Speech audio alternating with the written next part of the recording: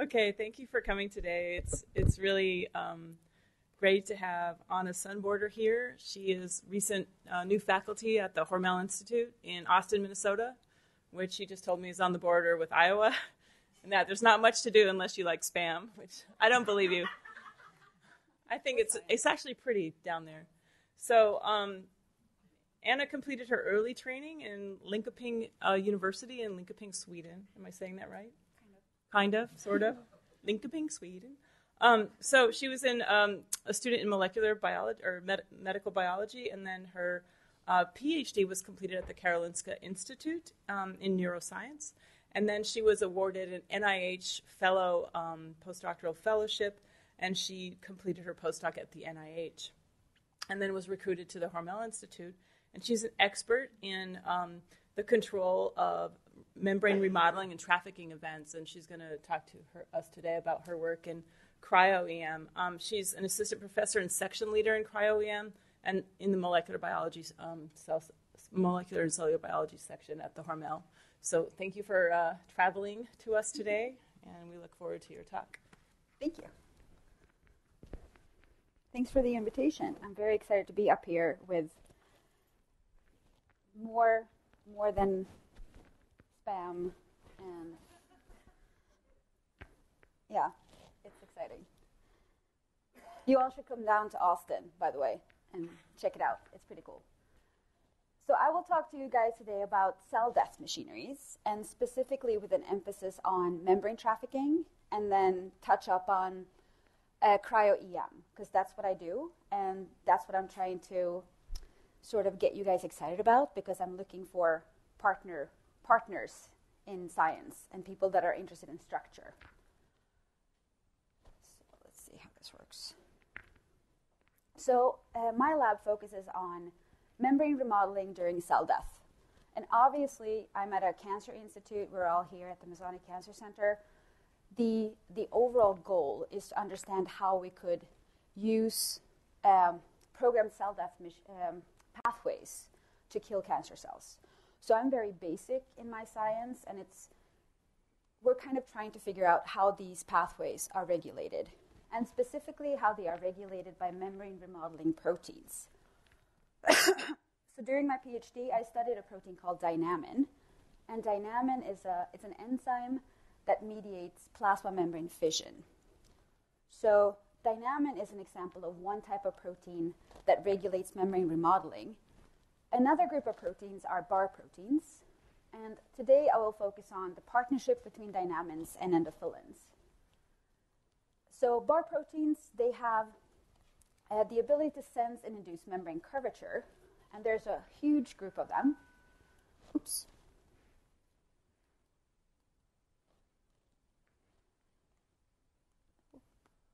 There's a huge group of them, and they are basically divided into three classes based on the characteristics of their bar domain, and the bar domain is the one that does the membrane remodeling. And the, the protein that I'm interested in is called endophilin, and it's an N bar protein. And here are crystal structures of the bar domains. So basically, two bar proteins come together. Their bar domains dimerize, and they form this banana shaped structure. And this is the structure that's thought to bind to the membrane and induce its shape onto the membrane. So it's scaffolding the membrane, and if you have an F bar protein, it's causing a shallow curvature, and N bar protein, like endophilin, is causing high curvature. And then we have these mysterious I bar proteins that are causing inverse curvatures, and no one really knows what they're doing. So there's a bunch of different bar proteins, and I'm interested in N bar proteins. And another interesting thing about them is that they have an amphipathic helix in their N terminal domain that inserts into the lipid. So they're not just causing shape by scaffolding, they're also inserting something in the membrane, causing um, the lipid to be destabilized. So that's probably a very important aspect to this. So, endophilin, like I mentioned, here are some EM images of the endophilin that we are specifically interested in, endophilin B1.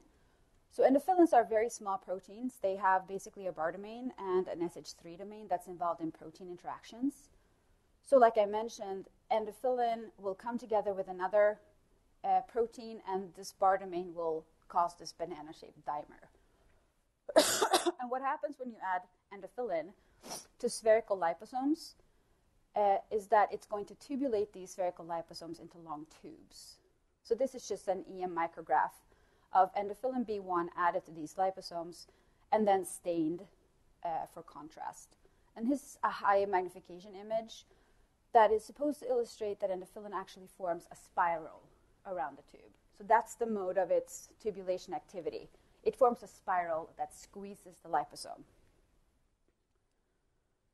So the other protein family that I mentioned is the dynamin family, and they regulate membrane trafficking by inducing fission and fusion. So here are some examples of dynamins. The one that I've studied and that I will talk about today is classical dynamin, and it's involved in fission from the plasma membrane, fission from endosomes, uh, fission from Golgi, and then there are other members of the dynamin family that are doing fission and fusion of mitochondria uh, uh, fusion of ER. and then there's a really weird group of dynamins that are doing antiviral activity. Like one member of the dynamin family, MXB, was recently shown to be uh, uh, active against HIV 1 infection, and no one really knows how. I might mention IRGM, which is another really small dynamin family member that is also involved in some kind of um, activity against infection. So dynamin, the classical dynamin that I've worked on, also forms a spiral around lipids. And that's also the mode of its tubulation activity. So dynamin, it's a, it's a GTPase. It's about 100 kilodalton. It assembles, it self-assembles into large scaffolds that form spirals around liposomes. And if you imagine that this tubulated liposome, it's about the same diameter as the neck of a clathrin-coated pit. So during endocytosis, you have these invaginations, and dynamin uh, forms a spiral around that membrane. And then during a yet to be defined enzymatic activity, it undergoes conformational changes and then severs the membrane. And that's what I've been using cryo-EM for in the past during my postdoc, is to try to reconstruct the dynamin scaffold and then study it using cryo-EM to basically try to understand how dynamin mediates fission. And these are some examples of uh, these uh, cryo-EM density maps that we produce. This is a dynamin construct that does not have a PRD domain, but essentially it forms this kind of structure. This is the this is a cross section. If you imagine that you have the tube like this, and then you just cut right through it, and you can see here is the lipid bilayer. Here's the inner lumen, and here's the protein scaffold. And here's the GTPase domain of dynamin. And here is uh, uh, the what we call the stalk domain, basically the domain that is uh, responsible for self-assembly. And here's the leg domain of dynamin that has a PH domain that actually also, just like endophilin, inserts into the membrane. So both dynamin and endophilin have the ability to insert parts of their domains into the lipid and cause destabilization of the lipid, which probably has a lot to do with how they are active in, in fission. So, this is kind of the current theory of how dynamin mediates fission. And I worked on plasma membrane fission, but it's probably most likely the same, whatever the membrane is. So, and it's probably a lot of similarities between fusion and fission. You basically form these unstable uh, membrane intermediates. So what we think is that dynamin assembles around the necks of these clathrin-coated pits. So this is, if you imagine the plasma membrane being invaginated like this, and this clathrin-coated pit would be filled with cargo, or it could be a receptor. Like this is really crucial during downregulation of EGFR, for instance, or something from the cell surface. So dynamin will come, form a scaffold around this neck, and then it will squeeze the neck, and then it will hydrolyze GTP. And during this hydrolysis step, it's going to the scaffold is going to undergo some kind of conformational change that's going to cause even more stress on the membrane, and then that's going to cause the vesicle to be released. And that's kind of still magical because we don't really understand how it works. And my work has been to try to elucidate how that works. So I'm not there yet, but also to try to figure out how other proteins like endophilin are regulating this process. So I will kind of come back to that. So, so that's just to keep in mind when it comes to what dynamin and endophilin might ultimately do. So, as I mentioned, or I may not have mentioned, they interact with each other. So, endophilin has this SH3 domain that binds to the PRD domain of dynamin, or proline rich domain. So, this has been shown in pretty much all tissues. These two proteins are binding partners, they co localize, all that stuff. But up until now, it's not really been known why they interact. What's the point of them binding to each other? People in the past thought that maybe endophilin recruited dynamin to site. That's not the case. so, one very important process that they are involved in is, as I mentioned, clathrin mediated endocytosis. So, one um, process that clathrin mediated endocytosis is involved in is recycling of synaptic vesicles. And when I was in grad school, I was at the Department of Neuroscience, and that was basically only because we used a model system to study clathrin mediated endocytosis that used uh, the nerve terminal of these. I should have shown a picture. These really gross fish that that are called lampreys. I don't know if you guys are familiar. So they are parasites sitting on bigger fish, eating their gunk, whatever, and they and they have these teeth, round, yeah, horrible fangs. So the the good thing about lampreys is that they have spinal cords that run the entire length of the animal, and then they have uh, reticulospinal axons that are huge that run the entire length of the spinal cord. So for for microinjections, for EM, for anything where you want to visualize a process, they are excellent. So we would isolate the spinal cord, put it in our chamber, use electrodes to impale the axons, inject a bunch of stuff, and then we would use just conventional EM to look to see what happened in the nerve terminal with this process. And what I specifically was interested in was what happens with dynamin. How is dynamin recruitment affected by perturbing endophilin, for instance? So we use this fish for that and we use synaptic vesicle recycling. But basically, what we wanted to know was how is uh, how is membrane recycled and how is clathrin mediated endocytosis controlled. So I will show you a bunch of pictures from nerve terminals, but you can imagine that this happens in all cells. So this is not n- nerve cell specific by any means.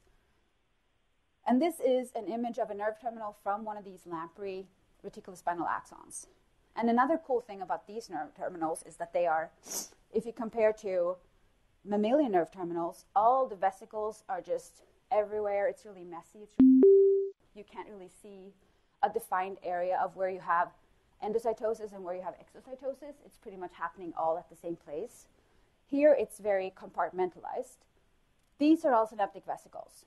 So these are all fusing here in the active zone with the presynaptic membrane. You are the only participant. Here is a postsynaptic dendrite. These are all mitochondria. In here is the synaptic cleft. So these vesicles are all going to fuse, and then the membrane is going to be recycled here. So this is the endocytic zone. So this is what we were interested in trying to understand basically how these structures, clathrin coated pits, how they were formed and how they cut and remade and recycled. You are the only. And this is 5 hertz stimulation, which is physiological levels. So there's a balance between endo and exocytosis. The cell is really happy. We have some clathrin coated pits accumulated, but basically everything is, is working fine. So, what we wanted to know in this system, we perturb the interaction between dynamin and proteins that are involved in regulating the membrane, what's going to happen with synaptic vesicle recycling? So, in a sense, what's happening with clathrin mediated endocytosis when we perturb their interaction? So, what we did was that we microinjected a peptide called PP19, and then so we injected a peptide that's going to bind to endophilin, preventing it to bind to dynamin, and then we evoked endocytosis by stimulating at 5 hertz. So basically, this is what we did. PP19 sits on the SH3 domain of endophilin, so endophilin can't bind dynamin anymore. And then we look to see terminal. It looks completely different. Looks I can hear him just fine. Pretty much. Okay, we're good. So this is again the successfully connected Here are here. all the synaptic vesicles. There's about an average of 400 synaptic vesicles per nerve terminal, and here we can count them pretty much. Yeah, we can easily see that there's a, a depletion of synaptic vesicles. We see uh, uh, these intermediates, but basically what's happened is that we have depleted the synaptic vesicle cluster. All the membrane is trapped here in the synaptic or in the, in the active zone or in the endocytic zone. So there's no endocytosis. And if we look to see what happens with dynamin localization, so what we do was what we did was that we looked at these intermediates and we used immunogold labeling and we tried to detect where dynamin is on the neck where it's supposed to form the spiral and we saw that we have significantly less dynamin localized to the area where it should be forming the spiral and causing fission. So essentially, what we found was that if you acutely perturb the interaction between dynamin and endophilin, you're going to block recycling of synaptic vesicles, and uh, you're going to prevent proper recruitment and assembly of dynamin on necks of clathrin coated. So the take-home message is endophilin is important for positioning of dynamin and assembly of dynamin. And if we go to an in vitro system where we again have these round liposomes that I showed you in the beginning, that both of these proteins will tubulate, if we use those and, and use them as a in vitro template for the plasma membrane, and we look to see how much dynamin is binding to this lipid template, kind of like a recruitment assay. If we do it with and without endophilin, we see a significant increase in dynamin recruitment in the presence of endophilin. So, again, showing evidence that endophilin is actually positively regulating dynamin binding to lipid. And if we block their interaction again with PP19, we abolish that positive effect. So, what we thought was that probably what's happening is that they're forming an actual micromolecular complex on these um, necks of clathrin coated pits. The problem is, if we want to investigate this, doing any kind of, of visualization, structural stuff, these clathrin coated pits are so tiny. They're about 50 nanometers high. We don't have any resolution. So, what we did was that we microinjected GTP gamma S, which is a non hydrolyzable analog of GTP, and we forced these necks to grow longer by preventing dynamin from finalizing this fission reaction. So if there's no GTP hydrolysis, we're not going to get the fission, so dynamin is going to keep growing longer and longer and longer. So we essentially have a longer neck where we can look to see do these proteins co-localize at the point where they're supposed to cause fission. These are, of course, not natural. So normally they would be like this long. But we're just increasing the length of the neck to see if both proteins are there. So we did immunogold labeling for endophilin and dynamin, and we find that they do indeed both localize to these structures. Interestingly, endophilin only localizes to this very top part of the neck. So right underneath the coat is where endophilin sits. Dynamin is everywhere, but it kind of makes sense because it's the inability of dynamin to mediate fission that causes these necks to grow because dynamin is actually continuously forming a spiral. But the, the point is that in this area, they are co localized. So the next thing we did, and now we're getting to the actual cryo part. So we decided to investigate if they actually form a micromolecular complex in vitro. So we have evidence that they are interacting in vivo. Uh, they co-localize on these uh, clathrin-coated pits in vivo. What happens if we just express the proteins, mix them together, and add them to liposomes?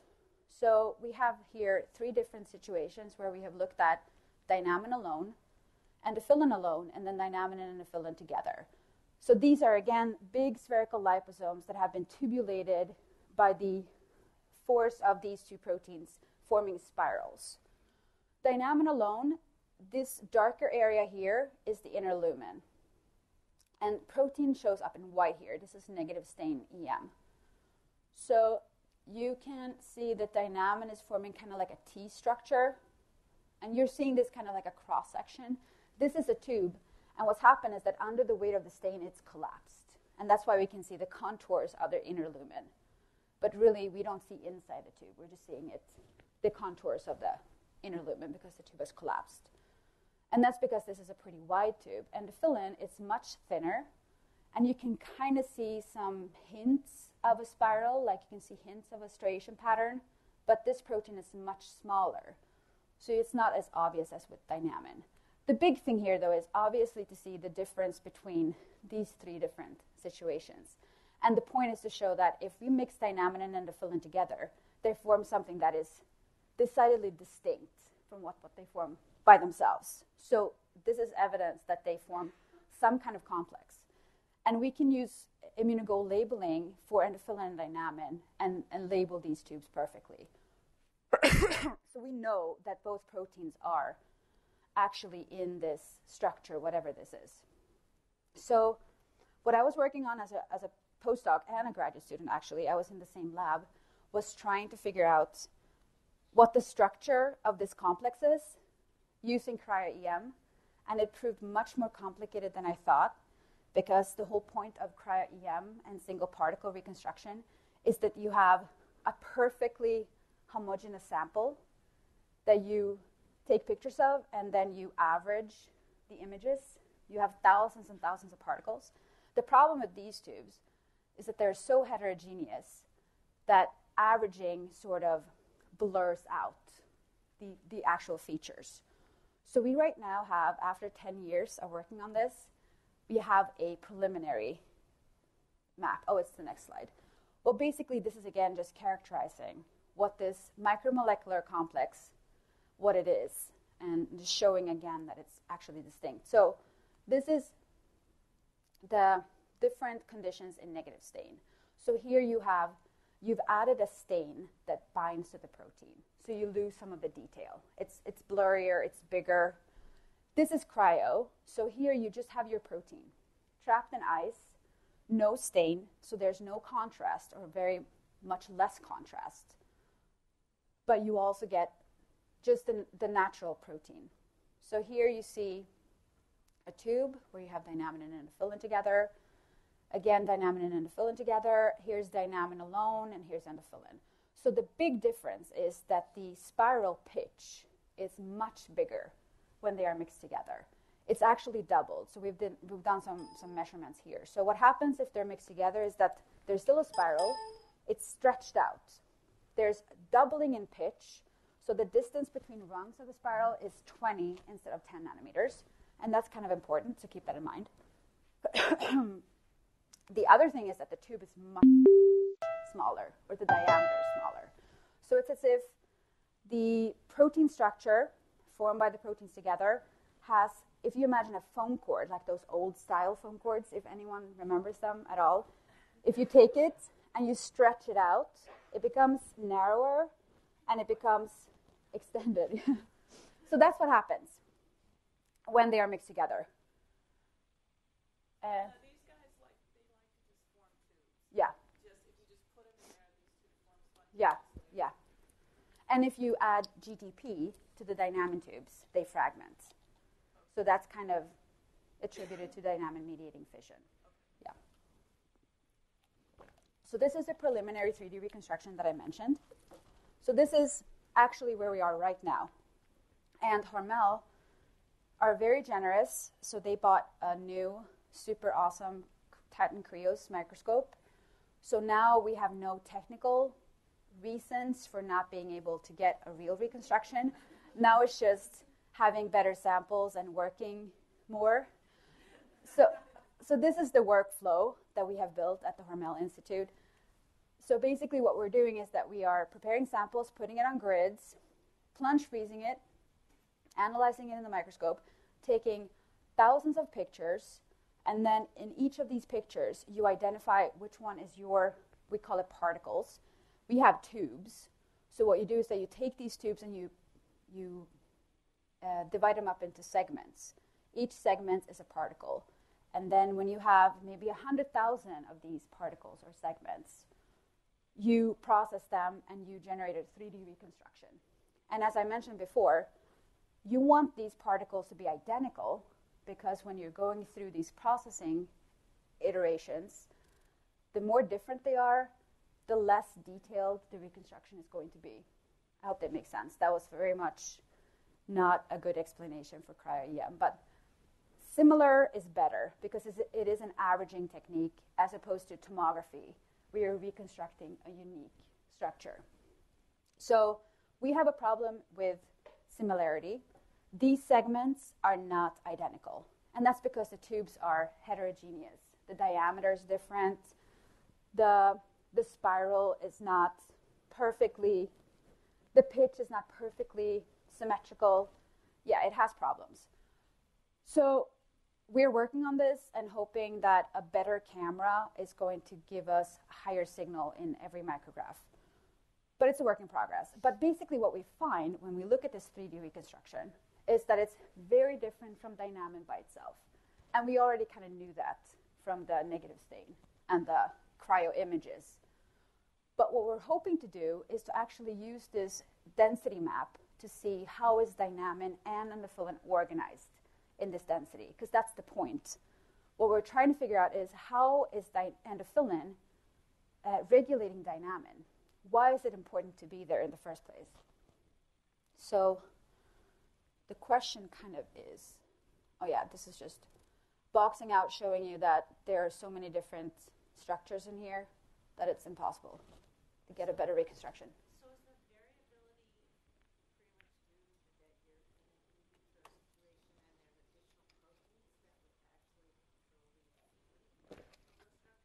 I mean, yes, generally. In this case, I know I only have two proteins. So the problem here is that they're forming variable structures. So, right, it, well, in the excellent question. I mean, I think that that's unfortunately far beyond the reach of this. But I'd say if you were looking at it in a cell, the structure that forms to actually mediate fission is so i mean it's it has to be super efficient. So you probably have the easiest possible structure to form like as few molecules as possible. So i think it's probably very homogeneous if you compare different fission events. Yeah so i mean it should be. And and then that would be advantageous for cryo-EM, but it also would be advantageous for the cell to form a uniform structure. So, oh yeah, so the question is, of course, what's the form of forming this complex, or what's the point? I mean, this is not just something that is cool looking that I think I should reconstruct because it's fun. I think it actually has some kind of purpose. And what I think, and this kind of speaks towards what I think endophilin is doing in the cell in general. Uh, so this is a a cross section again of our micromolecular complex endophilin dynamin, just a different color scheme from the one that you saw before. It's the same density map. So if you imagine that this is cross length of the tube, and here you see the protein scaffold, and in here somewhere is the lipid. We actually don't have enough resolution to resolve the lipid bilayer. It's here somewhere in this density. And here's the inner lumen of the tube. This is a comparison to Dynamin that I showed you in the, in the beginning. This is about 11 angstroms. So this is probably 40 angstroms. So it's, it's very, very low resolution at the moment. But you can see the same overall structure. You have this, what we call T structure, where the G domain is forming this, these, this head here, and then you have a stalk and a PH domain. So this, this same characteristic is seen here, but then the major difference is, like I said before, the pitch is very different between the spiral rungs. And here, there's just a big blobby mess, which is because of poor resolution, but also because we are looking at two proteins now. It's not just Dynamin. So one thing that we did that I found to be pretty interesting was that we took the density map that was at this point just recently solved by itself. So endophilin is about half the size of dynamin. So this is the density map of endophilin A1. And interestingly, it fits perfectly in this space right here, in this density. And it makes sense because endophilin, like I mentioned, of course, is a membrane binding protein. So it makes sense that it would be close to the bilayer. And then this is the yellow part here. You can barely see it. That's actually the, um, the crystal structure of the SH3 domain that they fit into their structure. So you have endophilin where this, these tops here, these peaks, are fitting the SH3 domain that binds dynamin. So it kind of makes sense for endophilin to be in this density, but we need much better resolution to be able to. And this, yeah, this is just showing that in a 3D reconstruction that we did, the, the endophilin binding part of dynamin would be accessible. So that's not really important. But, so this is kind of the point to all of this. So we think that endophilin and dynamin, they are forming a complex, and the point of this is for endophilin to regulate dynamin assembly. And I mentioned that there's some stark differences between endophilin and dynamin together and dynamin alone. This is dynamin alone. Again, the pitch is about 10 nanometers. If we look at them together, it's 20. The width of the spiral is it's much more constricted. So what we think is happening is that endophilin is actually a template for dynamin. So during recruitment of all these proteins to the site of fission, so in this case, we're looking at clathrin mediated endocytosis in the nerve terminal. So we know from previous studies that both of these proteins are in the vesicle cluster at rest, and then you stimulate, you evoke endocytosis. They both end up here somehow. So what we think is happening is that endophilin is actually recruited to the necks of clathrin coated pits. It's generating this really high curvature. And then dynamin is recruited just separately, not dependent on endophilin. It's recruited and it hangs out of the clathrin coat. And then when the curvature or the, I would say the diameter of the neck is appropriate, dynamin is going to start assembling. So this is a point where we have a dynamin endophilin complex. But endophilin needs to be there, one, to generate this constriction, because dynamin doesn't like when it's not constricted enough. And also, dynamin needs an anchoring point. So we think that endophilin just forms kind of like a base for dynamin underneath the coat, and then dynamin comes in, and then it forms a scaffold but it's sort of locked in by endophilin, which would spatially and temporally regulate where dynamin can mediate fission.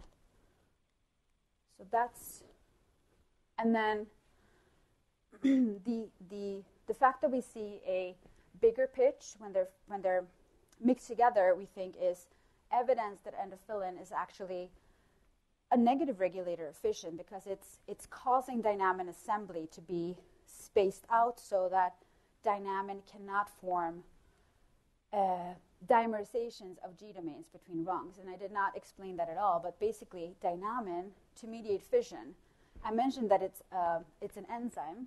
It binds GTP, it hydrolyzes GTP. That's required for fission.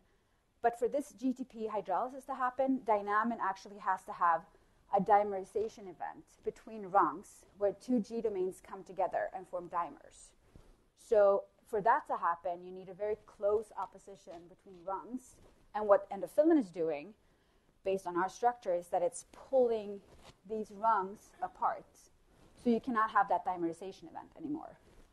So we think endophilin is a template causing constriction of the neck, causing, yeah, appropriate curvature for dynamin assembly, but then it's actually regulating, making sure that dynamin can't, it can't undergo fission until something else has happened, something else has been recruited, or, or something else that needs to happen before dynamin just cuts the vesicle. So that's kind of the story that's dynamin and endophilin and plasma membrane fission. It's our ongoing project trying to get higher resolution of that complex. What I've been doing in my new lab is looking at other dynamin family members and other endophilins because I think the fact that they form a complex, it's not specific to plasma membrane fission. It's actually a general mechanism that regulates membrane remodeling in the cell for other purposes beyond clathrin mediated endocytosis. So I'm interested in other dynamin family members that are also doing membrane remodeling. So specifically, dynamin 2, which looks like dynamin 1, DRP1 that's doing mitochondrial fission, and then IRGM, which is this enigmatic, teeny tiny dynamin that is doing something. And I'm specifically interested in it because it's been shown to be involved in autophagy and mitochondrial fission. So it's like a partner to DRP1. So my overall interest is to find out if these are also regulated by endophilins or other bar proteins. So the new project that we have in the lab is looking at endophilin B1, dynamin 2, and autophagy. Because as I mentioned way back in the beginning, my interest is in programmed cell death. So this is a really busy slide. There are some take home messages here.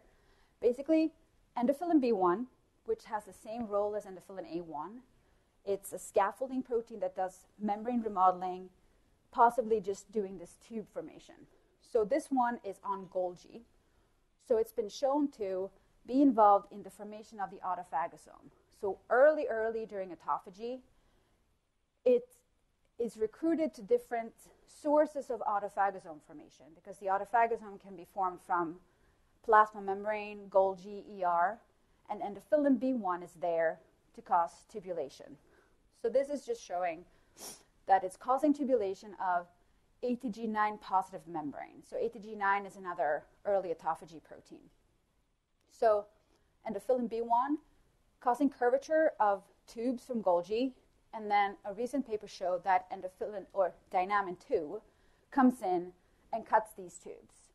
So just like dynamin and endophilin in plasma membrane fission, forming these clathrin-coated pits, during autophagosome formation, endophilin and dynamin, they are loca- localized to Golgi, where they cut these Golgi tubules and they give, uh, they become the, the membrane source for the autophagosome. So our idea is that uh, endophilin and dynamin are forming the same kind of micromolecular complex, regulating Golgi uh, uh, fragmentation, basically, to form the autophagosome. And it's been shown that if you remove endophilin B1, you don't have autophagy. So it's, it's essential for autophagy. So we think that this is happening. Here's Golgi, and here is ATG9 and dynamin forms a spiral around these endophilin B1 uh, tubules. And then these vesicles, they start forming the autophagosome with all these other autophagy proteins. So the ongoing work now is trying to recreate this endophilin B1 dynamin 2 micromolecular complex much like we did with dynamin and endophilin that I just showed you, hopefully getting more homogeneous structures. And we will do that by using different lipid templates, uh, pretty much trying to reconstitute Golgi in vitro, and then having these two proteins form uh, what we think is a spiral, and then trying to use cryo-EM to reconstruct the spiral to get high resolution information about how they are organized to ultimately try to understand how endophilin B1, endophilin A1 regulates dynamin mediated membrane fission. So, this is just some really basic work that we've been doing that goes into all cryo-EM projects. You have to basically purify your proteins to perfect purity, just like in crystallography. You need to do gel filtration to make sure that if you think you have a complex with two proteins, that they're actually in the same gel filtration peak. So this is our endophilin B1 dynamin 2 gel filtration showing a complex that would correspond to a tetramer of dynamin and a tetramer of endophilin B1. So that's what we're working on now. putting this on grids, trying to get good samples for the Krios that is finally up and running. And this is just some preliminary EM that we've been doing. So basically, we just confirmed that endophilin B1 on these spherical liposomes forms the same kind of tubules that endophilin A1 does. Dynamin 2 behaves just like uh, Dynamin 1, again, forming tubules with these spirals. As of yet, we don't see any tubules forming with the proteins mixed together. You just see this weird crystal looking structure. This is actually what we're working on right now. That I, that I hope my postdoc is working on right now when I'm here. so, another thing that I will just briefly mention because it's, it's actually speaks to the, the uh, general mechanism of endophilins that is a separate project that we have in the lab is the role of endophilin in apoptosis. and I've mentioned that endophilin B1 uh, and endophilin A1, they are involved in regulating dynamin assembly. So this is another cell death membrane remodeling protein that's not a dynamin and it's Bax. And you guys are all familiar with Bax and how it forms pores that are, of course, essential for apoptosis.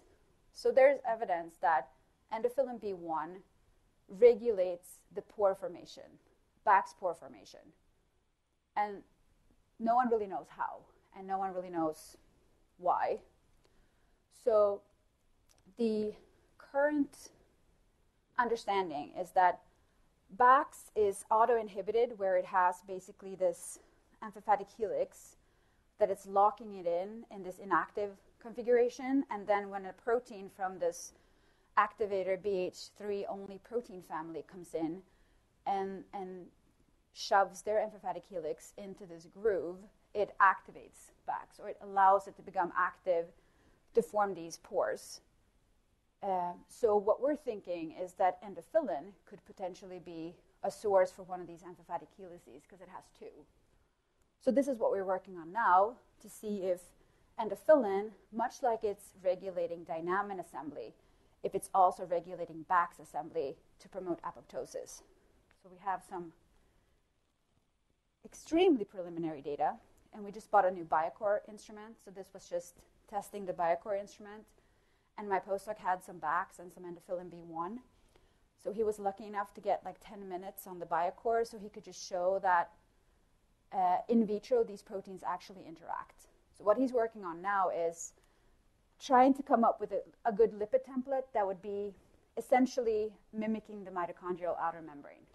And what we want to do ultimately is to, of course, try to recreate Bax pore formation to see is endophilin B1 essential for regulating how Bax forms pores in the mitochondria.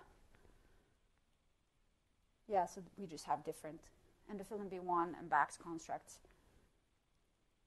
So, the very last little section, because um, I've talked about how endophilins regulate dynamin. And the fact is that it's way more complicated because we have evidence that dynamins and maybe Bax proteins also regulate endophilins. So there's really old evidence from 10 years ago. We worked on another protein called syndapin. So syndapin is also a bar protein. It has a slightly different bar domain. If you remember from the beginning, it's more shallow, so it forms more shallow curvatures. It also interacts with dynamin and is involved in different kinds of endocytosis. But basically, the problem with syndapin is that it's auto-inhibited. So it also has an SH3 domain and a bar domain, but under native conditions, it's, it's uh, folded over, so it's auto-inhibited, so the SH3 domain is preventing the bar domain from dimerizing with another syndapin and causing curvature.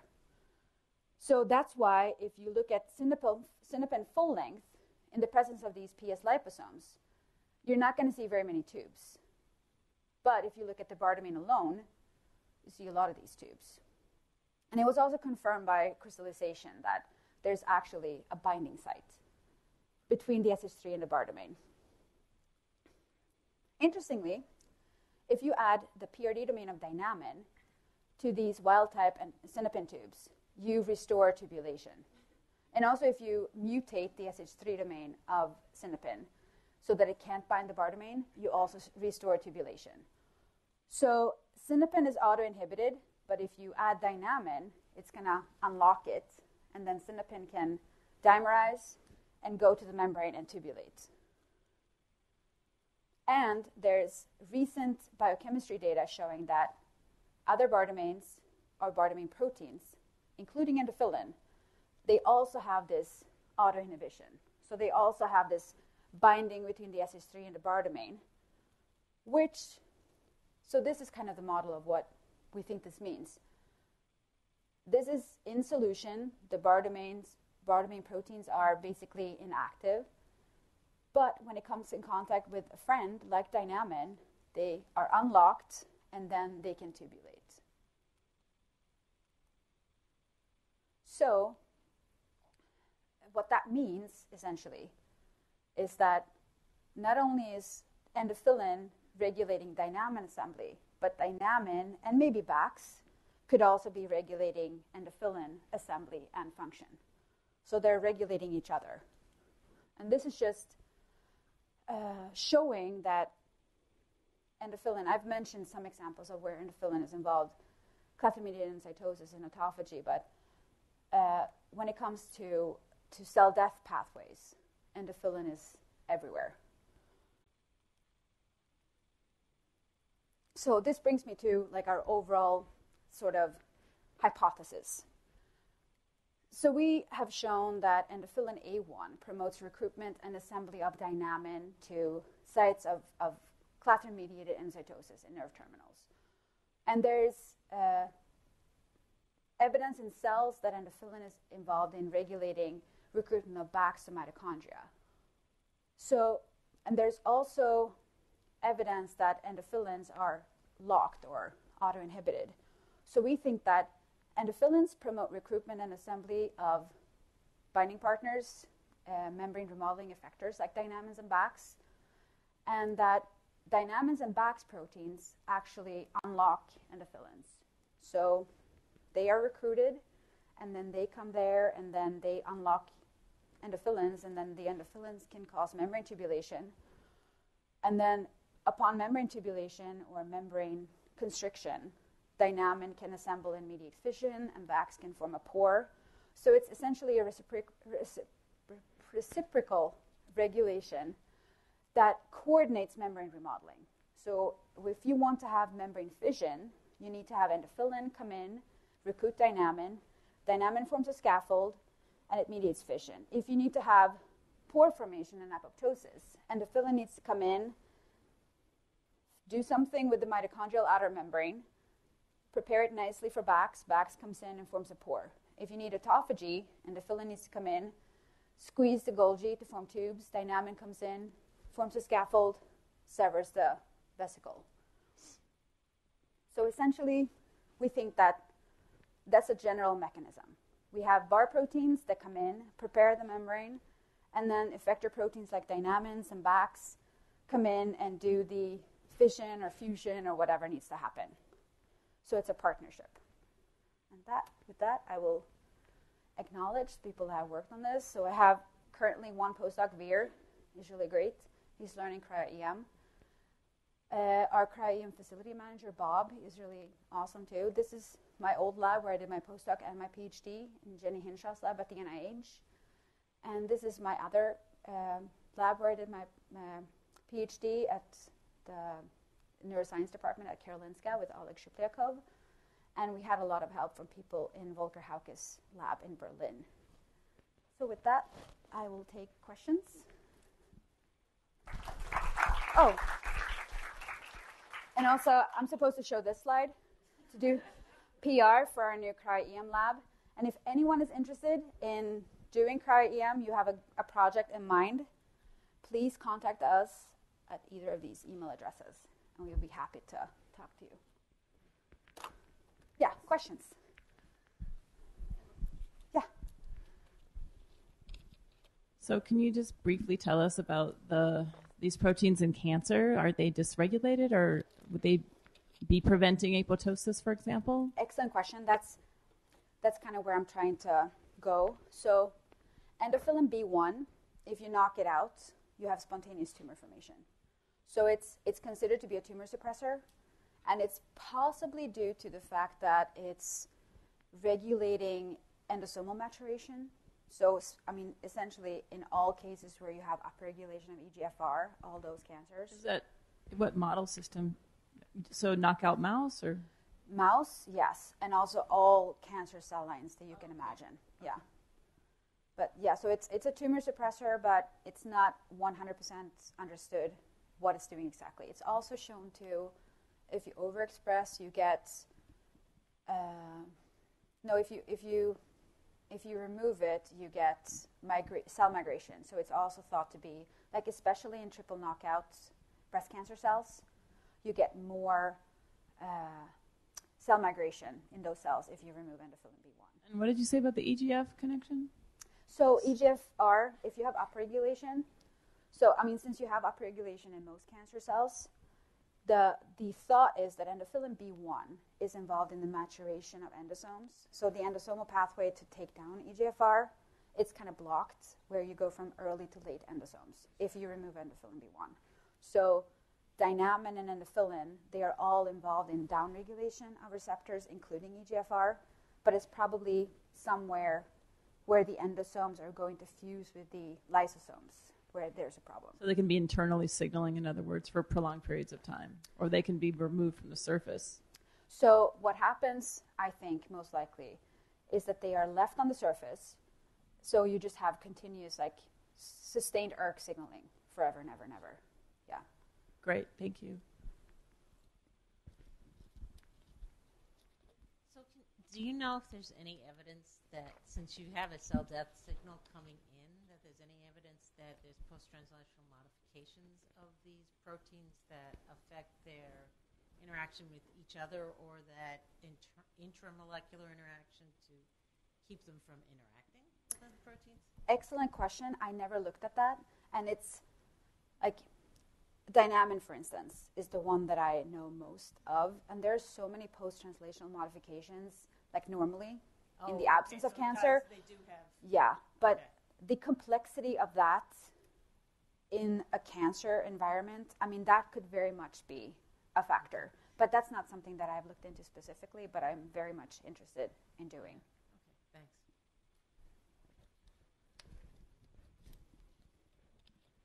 thanks.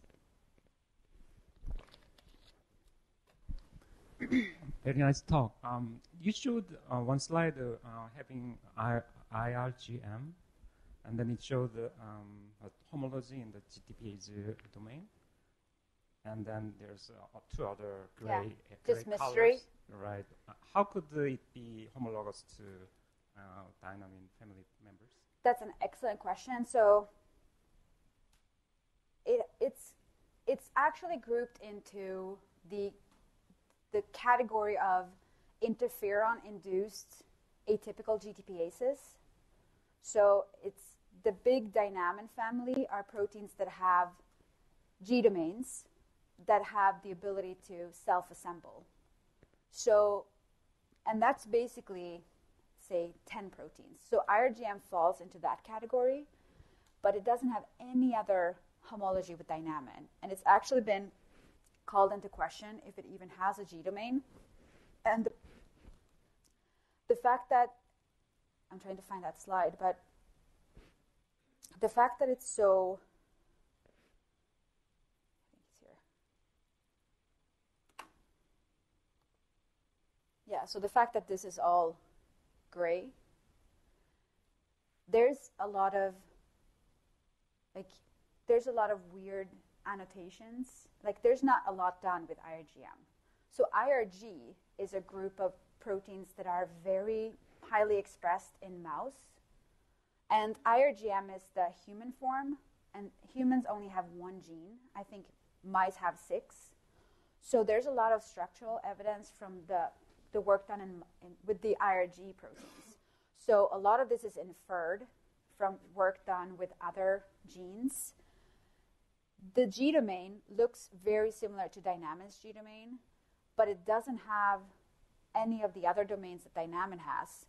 It's just assumed, sense, it looks like the mouse IRGs that can self-assemble and mediate GTP hydrolysis. But yeah, this is yeah huge question mark, and it might actually not be a real dynamin. So I'm I'm very interested in looking at this. The fact is that it also probably doesn't have any ability to do membrane remodeling because it really doesn't have any way of binding to the membrane. So I'm interested in it because it does autophagy somehow, which also I don't know how. So yeah, more to come later.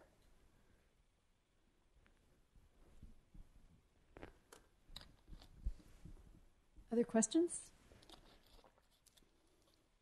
Well, thank you very much. Thank you.